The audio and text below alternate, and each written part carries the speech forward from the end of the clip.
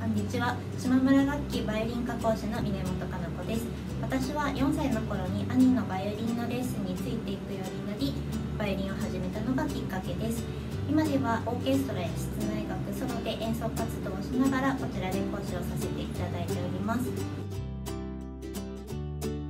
経験者の方には演奏の悩みを解決していただくことまたその人に合った曲を提案したり基礎の練習を提案することによって表現を磨いて楽器を好きになっていただけるようなレッスンをしています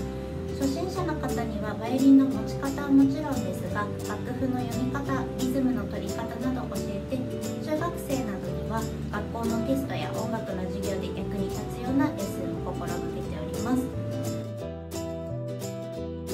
バイオリンは人の声と同じで選んだ楽器だけでなく誰がどう弾くかで音が全く違うものにな